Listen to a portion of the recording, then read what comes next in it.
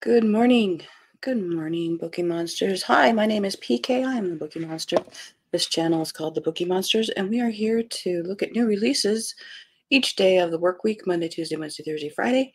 We missed yesterday because I did not have any power. It apparently went out at 4:30, and um, by all calculations, it came on sometime after eight, maybe nine-ish. We weren't here, but um, I could not get on the internet or anything, so Sorry for missing yesterday, but today we are going to look at the romances that we would have looked at yesterday.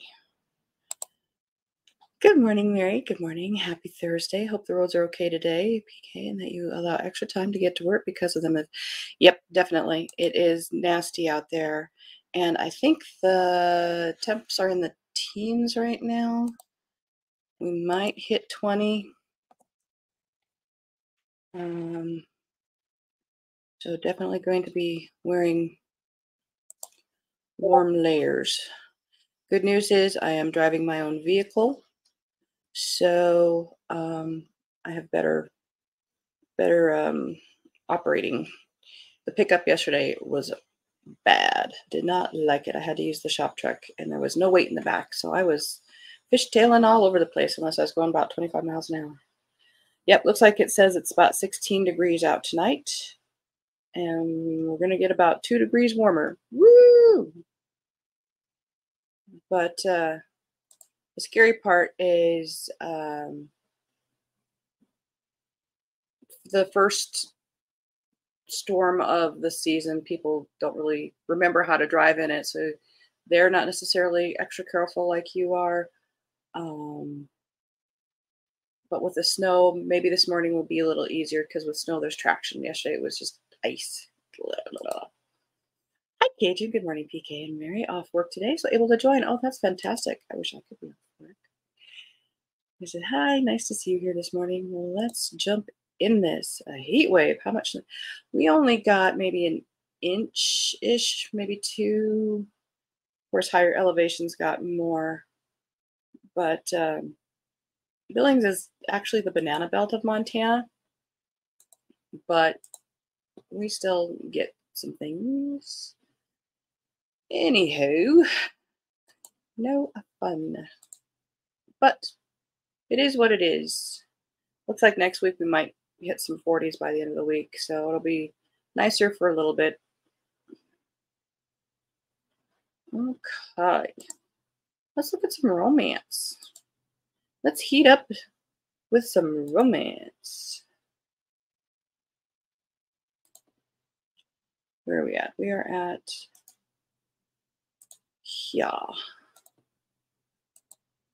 Hell of an Angel by Christi Barth, second in Unlocking His Heart series. Raised in hell, living in Buffalo, and on the verge of accidentally destroying both realms, Dark Angel and actuary Evangeline Thayer hates taking unnecessary risks, but she knows becoming human will be worth it. All the creatures in hell have bullied her about her negligible power her whole life. And don't get her started on why she has wings if she can't even fly. She just needs a teensy bit of help with removing her power, which is where a very hot, very flirty, and absolutely infuriating Nephilim comes in.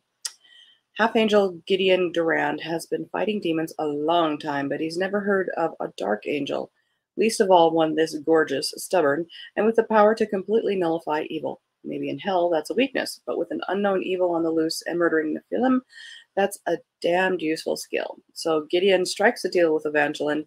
He'll scratch her wings if she'll scratch his. Now good and evil are temporarily working together and might even be having steamy fun if it wasn't for a rather inconvenient threat trying to unleash the apocalypse once and for all. How inconvenient.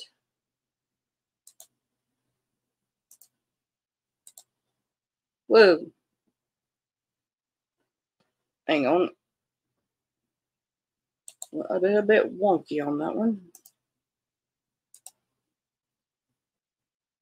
Let's try that one in a new tab.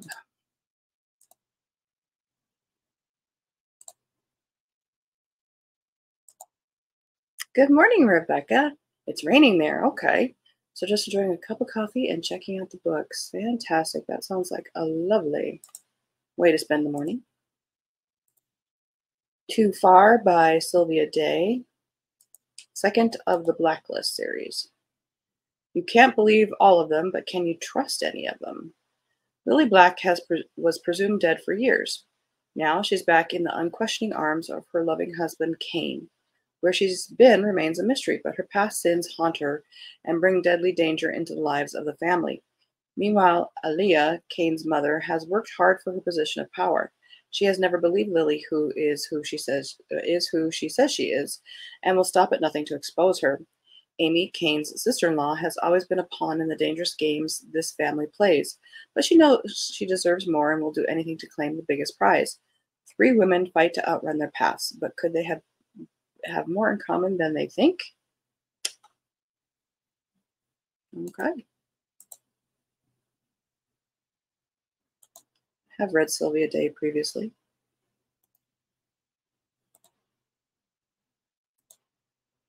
Been a while.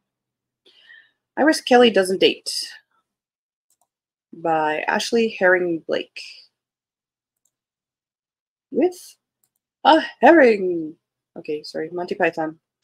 A fake relationship after a horrible one night stand is anything but an act in this witty and heartfelt new romantic comedy. Everyone around Iris Kelly is in love. Her best friend best friends are all coupled up. Her siblings have partners that are perfect for them, and her parents are still blissfully married. How dare they? And she's happy for all of them, truly. Iris doesn't want any of that dating, love, romance. She'll stick to her commitment free hookups, thanks very much, except no one in her life will just let her be. Everyone wants to see her settle down, but she holds firmly to her no dating rule. There's only one problem Iris is a romance author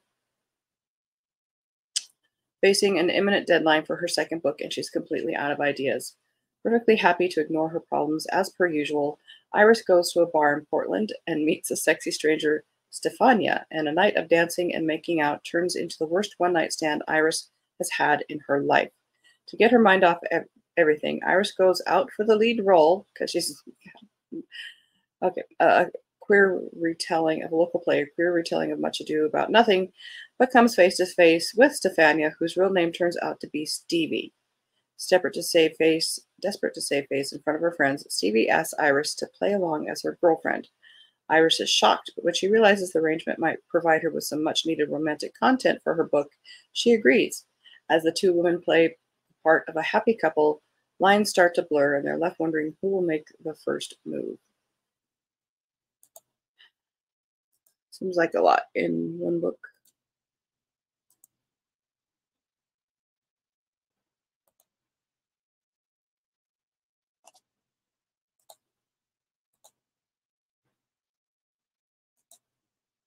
Emergency Contact by Lauren Lane.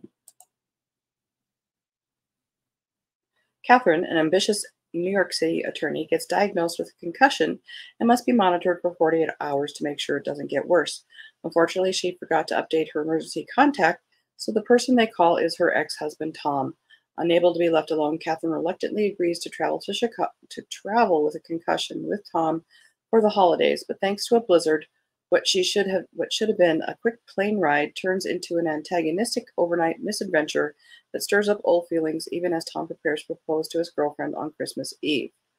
A delightful meet cute between the proposal and planes, trains, and automobiles, etc. Medically, I don't think that's the right thing to be doing.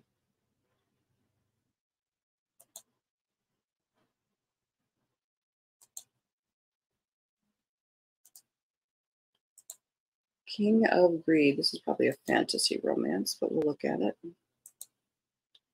I recognize the author. Maybe we should save that one for fantasy tomorrow. We'll save that one for fantasy tomorrow.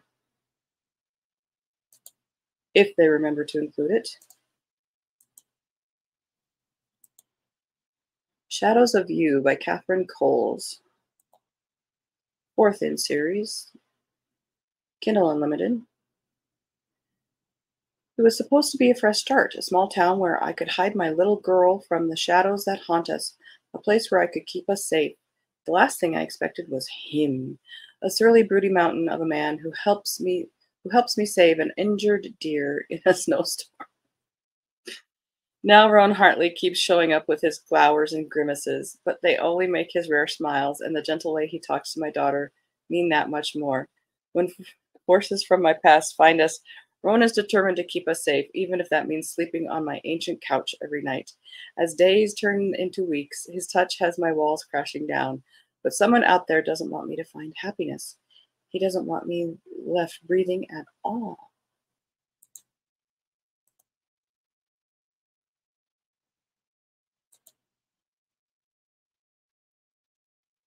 Mm, that's a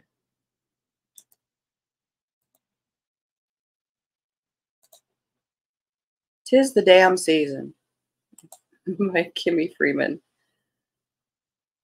Told in a dual timeline and inspired, inspired by Taylor Swift's song of the same title, is a charming new contemporary romance. Well, you've already kind of lost me, but we'll see what if you can pull me back in. A Hollywood starlet caught in a scandal, the boy she never got over, a Christmas season they'll never forget. Aspen Moore is living proof that money doesn't buy happiness. At 23 years old, the singer actress has it all fame, fortune, her own headlining headlining tour. Wonder, hmm, what did that sound like? And yet something or someone is missing.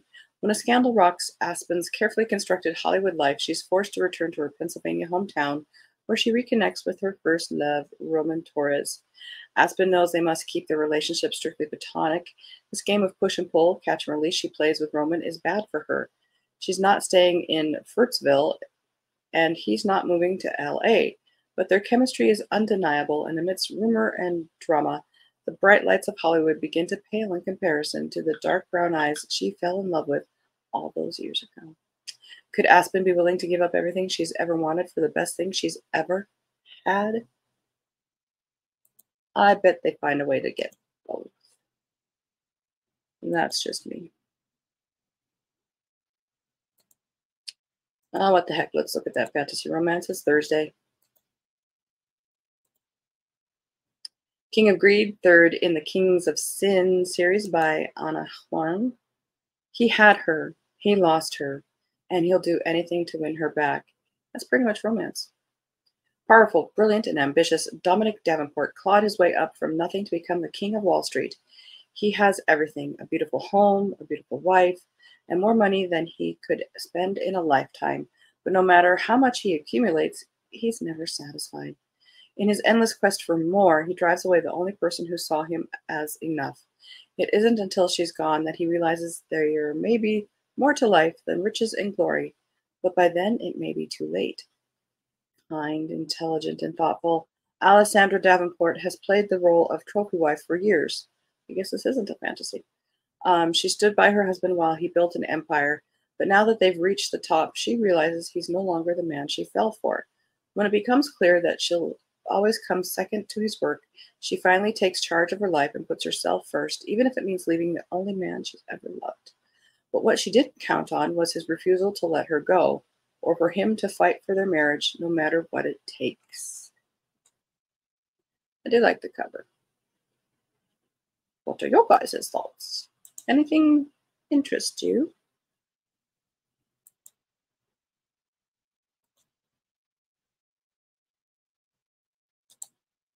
And good morning to Scorpio. Welcome. Welcome, everybody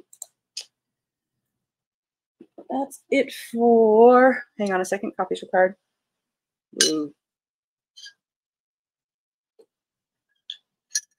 I suppose we could check out some fantasy since it is Thursday. While I'm bringing up a, uh, a site for that question. Uh, reading sprints on Tuesdays and Thursdays. We're supposed to be doing one tonight. Um, I'm just concerned about the roads. I'll do my very best to get here at uh, the start time. If I'm a little late, does that mean you guys, does that irritate you? Do you want to, I'm still looking at options. So let me know what you think. 6.05 start time is with good roads and so forth. But last night I didn't get home until um, 5:40 my time, partly because I had to scrape the car, and partly because traffic was very slow because of the roads. So I'm still looking at options. Like maybe I could do it from work and then drive home at 8.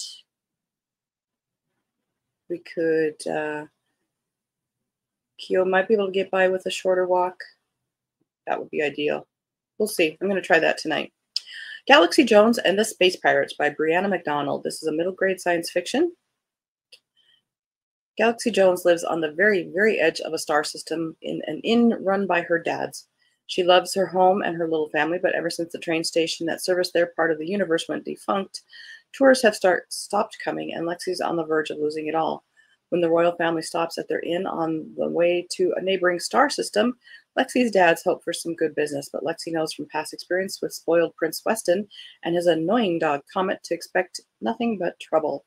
Turns out that trouble is a whole lot bigger than she anticipated.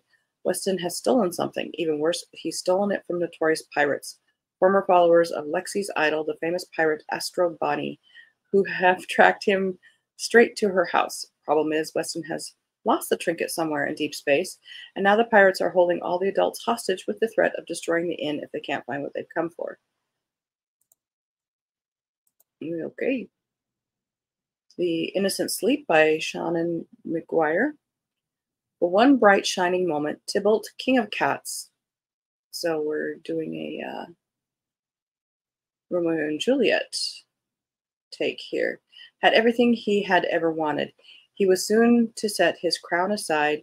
He had married the woman he loved. He was going to be a father. After centuries of searching for a family of his own, he had finally found a way to construct the life of his dreams, and he and was looking forward to a period of peace, or at least as much peace as is ever in the offing for the husband of a hero. Alas for Tybalt and his domestic aspirations, fate and Titania had other ideas. His perfect world had been complete for only a moment when it was ripped away, to be replaced by hers.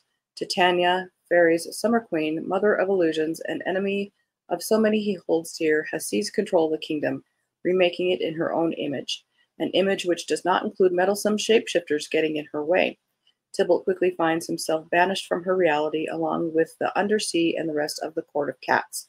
To protect his people and his future, Tybalt must find the woman he loves in a world designed to keep her from him, convince her that he's not a stranger lying to ruin, trying to ruin her life for no apparent reason, and to get her to unmake the illusion she's been firmly enmeshed in.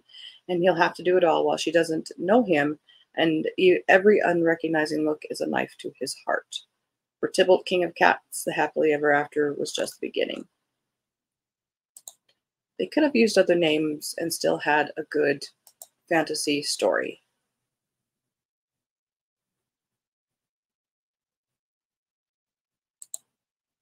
Be careful, safety first. We'll be here waiting. Okay, appreciate that. Um,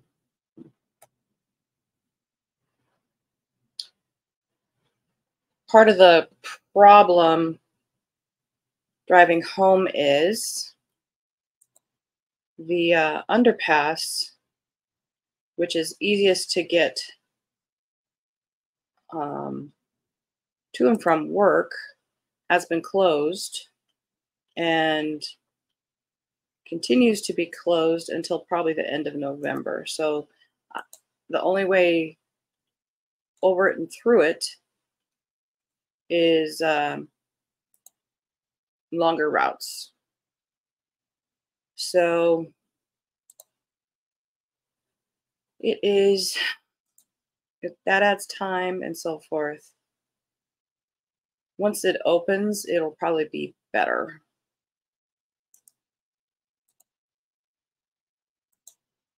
And people get their feet under them, so to speak. Spelled with a Kiss. Kindle Unlimited by Jessica Rosenberg, second in the Weird Words and Witchcraft. Let's double check release. That was already released. What is up with these?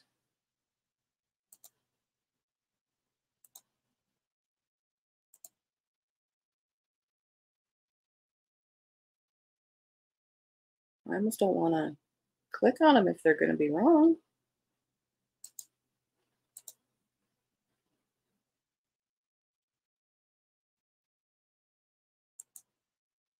Let's double check this one. Of course, you guys can always check out Harlequin. If you're in the mood for romance, here's one.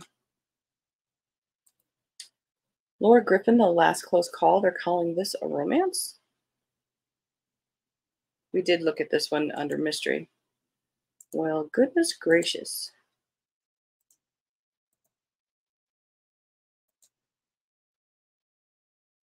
Lucy May Lennox, good looking.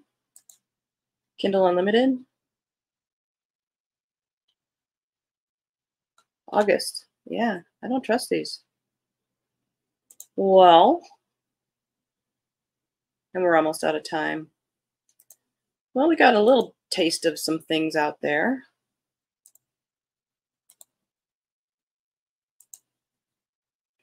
Tomorrow we'll, uh, I'll do a little prepping tonight and uh, have some better options tomorrow. But being Friday, we our our uh, options are open. We can look at literary fiction. There's always more cozy mysteries. There seems to be a disturbance in the book reviews. Indeed. These aren't the books you're looking for. I appreciate you guys stopping by. Um, at least we're able to show up today, right? We had power. Woo! Rebecca, have a great day, everyone. You have a great day too. Um, so wherever you are, be safe, be warm if you're in cold. Oh, that was interesting. Um, have a cozy day if you're home. If you're out driving around and it's lucky, be safe out that way. All right, take your time tonight. We'll be here. I appreciate that. Be careful driving. Everyone have a good day. Indeed, everybody. So um, I thank you very, very much. Have a good Thursday. We will meet up again tonight, 6.05 or as near as I can get to it.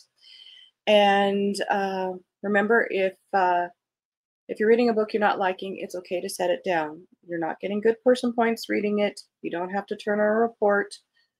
It's just not the right time. It's not a, a reflection on you. It's not a reflection on the author, usually. Um, it's just not the right time. Pick up something you do like. It's okay. And as the banner says here, don't be a bookworm, be a bookie monster. Take care. God bless. Much love.